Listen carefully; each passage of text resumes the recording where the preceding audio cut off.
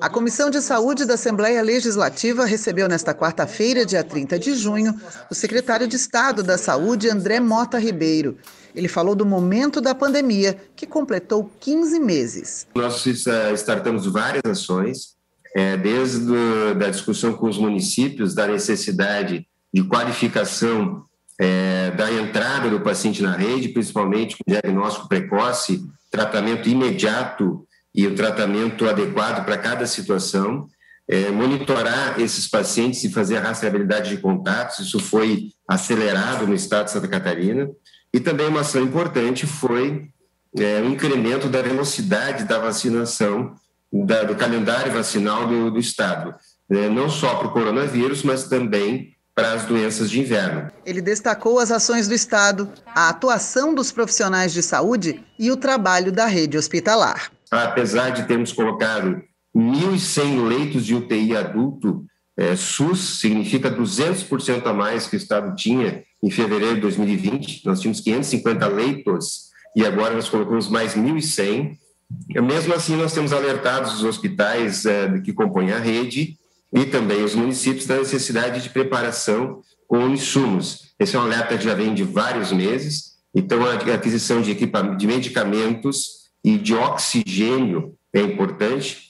Apesar das dificuldades, nós nunca tivemos é, falta de nenhum desses insumos, apesar de alguns momentos críticos que nós passamos. Durante a reunião, os deputados fizeram questionamentos ao secretário.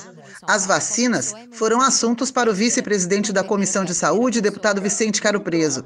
Ele falou da preocupação com os catarinenses que não querem se vacinar, daqueles que não procuraram a segunda dose e sobre a aquisição dos imunizantes por parte do Estado. São pelo menos 850 mil vacinas aplicadas em Santa Catarina entre primeira e segunda dose.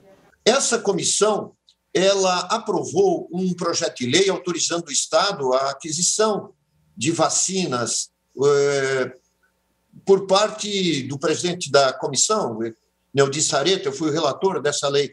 Há intenção, eventualmente, do Estado fazer aquisição ele próprio, ou tem alguma coisa ainda na legislação que impede que o Estado faça. O secretário disse que para comprar vacinas, Santa Catarina precisa seguir normas federais. Toda aquisição, nesse momento ainda, ela tem uma regra federal. Então, se o Estado eventualmente fizer aquisição, ele precisa disponibilizar essa aquisição para o PNI, ficando apenas com um proporcional dentro da, do Estado que faz a aquisição. O presidente da Comissão de Saúde, deputado Neuti Sareta, falou da preocupação com a terceira onda e pediu ações do Estado para a criação de centros de referência pós-Covid. Gostaria de sugerir e ouvir de, de sua parte também se se já está se pensando em termos também em Santa Catarina, unidades de, de referência, ambulatório pós-Covid, que nós sabemos de todas as, as, as questões, as sequelas que ficam nas pessoas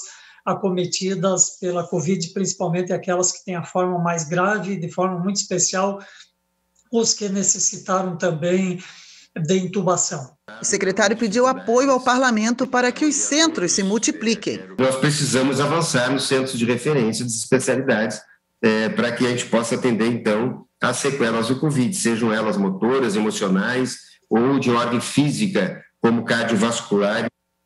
Então, qualquer ajuda da, da Assembleia nesse sentido é bem-vinda, mas a gente pode utilizar uma, uma conversa especificamente para tratar disso, porque esse é um projeto bastante interessante, bonito e necessário. Durante a reunião, os deputados também aprovaram um projeto de lei que garante um tradutor e intérprete de Libras durante o trabalho de parto, parto e pós-parto em hospitais da rede pública e privada de Santa Catarina.